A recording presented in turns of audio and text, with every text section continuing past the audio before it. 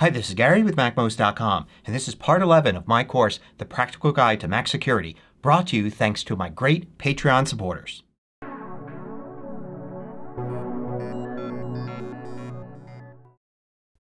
When it comes to Mac security, one of the most important tools you have is user accounts. Every individual that uses a computer should have their own user account. So if you are sharing a Mac with your spouse or with other people in your home, then you should each have your own user account. This does several things.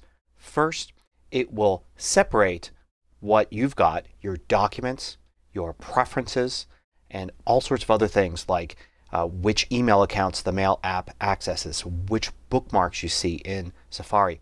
It separates those into two separate accounts. It's like having two computers in one. You log onto your user account and all of your stuff is there. And when you make changes, you're making changes to your stuff.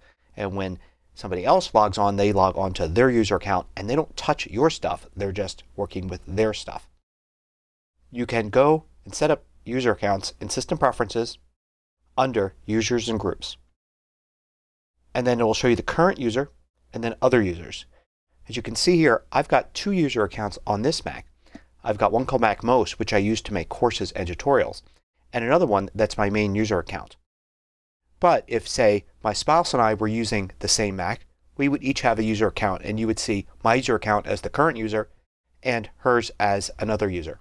Having separate user accounts means that if the other person makes a change, that it won't affect your things. And this is also true when it comes to security. If they were to go and try to log onto a website, they would only see their passwords there in Safari. They wouldn't be able to accidentally log on to your account and perhaps do things in a less secure way than you would do it. So it separates all of your passwords as well. So that's why it's important to have separate user accounts. So to create a new user account or make any changes in here, you've got to unlock and then authenticate. And now you can see the other user accounts. To add one, use the plus button here. And you can set up either a standard or administrator user account. The difference is that an administrator can do things with other people's accounts. As an administrator you can reset another user account's passwords or you can add or remove accounts. A standard account can still do most things that an administrator can do. For instance, it can be used to install apps on the Mac. But it cannot then change the password or delete another account or create new ones. So in general you can have one administrator and everybody else is standard. But if they're all adult using the Mac then it's fine to have multiple administrators as well. You would enter your full name here and then a short account name. It's important to use a short name here. This is going to be the name of your home folder. So a long name, let's say your first and last name is probably too long. So for instance I would do my full name here but I would just do Gary perhaps for the account name. And then a password and this is the password that will be used for anybody to access this account. So if it's a weak password like a word or a date or something like that that means somebody could actually get in and have access to all of your passwords, have access uh, to your email accounts, all of that. So you want to make sure it's relatively strong although you are going to end up typing it from time to time. Hopefully you have a Mac say with Touch ID so you can use that most of the time instead of actually typing the password except when you reboot. But it's useful to say have an 8, 9, or 10 letter password that's random and something that after typing a few times you've basically memorized and can type very quickly. Now when you create multiple users it's very useful to go into login options here and first turn automatic login off. So you have to log in when you restart the computer. Display the login window as name and password so somebody trying to get into the Mac uh, has to enter the name and password. Otherwise a list of users is a little less secure but it's not a big deal. And then you want to show fast user switching and you could have icon, full name, or account name. It doesn't matter as long as you have this turned on. This is fast user switching up here. And this is very important because by using fast user switching you could basically switch from one user to the other without logging the first user out. So you could be using your Mac, say you're checking your email, you're composing something in uh, Pages, you're working on a spreadsheet numbers, you've got a bunch of windows open, a bunch of web pages open, and the other person could ask, mind if I check my email for a minute? You say sure, you get up. They use fast user switching to switch to their account. They can go in and check their email or whatever it is they need to do and then you could switch back using fast user switching and all of your stuff is still there. You've never logged out. So everything was hidden while they were logged in but as soon as you switch back everything is just as you left it. So it is like having two computers but you're only seeing one on the screen at a time.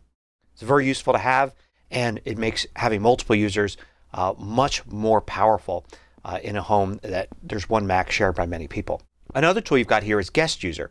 Now unfortunately Guest User is really only powerful when you are not using File Vault and File Vault is a very useful tool for security. But if you're not using File Vault you can turn Guest User on and what that does is it allows a guest, somebody who's not uh, usually using this computer, uh, could literally be a guest in your home or it could be somebody who has another Mac but they want to use yours for something just uh, for a minute. They could basically log in as a guest user and they don't need a password or anything for that because when you log in as a guest user it creates a brand new user account from scratch. That's brand new with no data in it at all and it's not connected to the other user accounts.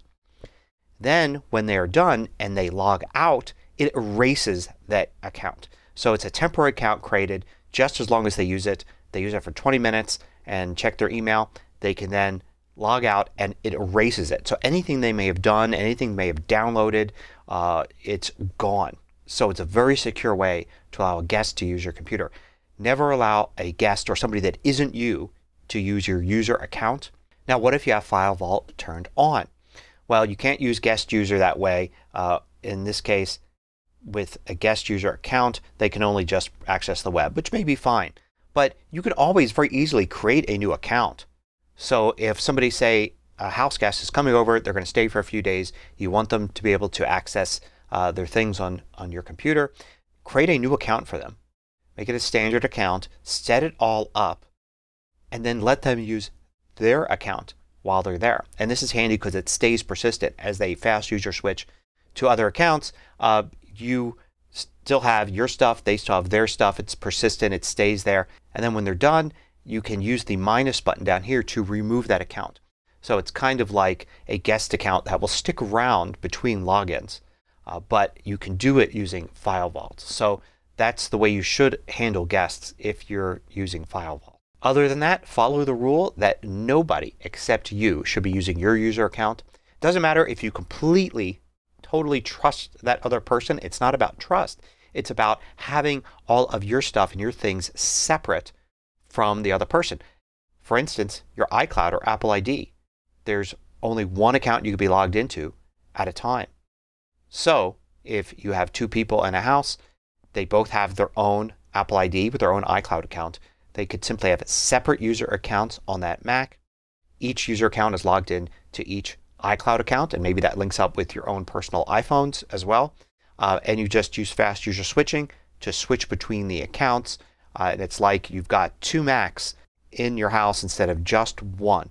Everything is separate. All the settings are separate. All the data is separate in those user accounts. If you haven't done this and you have more than one person using one account right now, I would suggest immediately setting up a separate account and getting to know how this works and how fast user switching works and then working towards having that person having a separate Apple ID, a separate iCloud account and having everything on this Mac separated by person using the two separate user accounts. And note, in case it's not clear, when you're logged in to a Mac user account, the settings are all different including your Apple ID. So this account here is logged into this demo Apple ID here. But if I were to switch to another user account, that user account would be using its own Apple ID. So if you and your spouse share a Mac, you would each have your own user account and each user account will be logged into a separate Apple ID. You can still share things with each other. For instance, you can share purchases through family sharing. Even the amount of storage that you purchase from Apple can be shared, although your files in iCloud Drive would be separate. They'd be separate Apple IDs. This would also apply, say in Safari, if you're logged into Facebook. In one account you may be logged into Facebook using one Facebook account and then you could switch to the other user account, go to Safari, and that would be a completely separate instance of Safari that would be using its own settings and its own information and you could be logged into your Facebook account there. So two people using the same Mac as they switch between user accounts they would find themselves logged into separate things in web browsers, in apps, and also with Apple ID.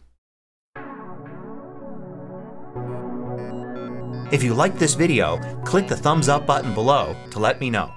I publish new tutorials each weekday. Hit the subscribe button so you don't miss out.